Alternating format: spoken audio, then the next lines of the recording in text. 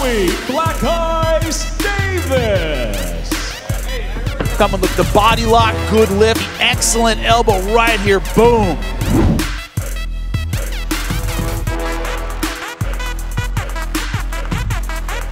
Ed Ruth.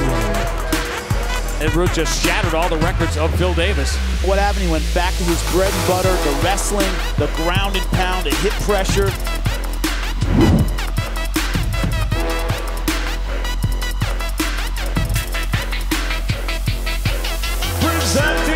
Tyrell Fortune.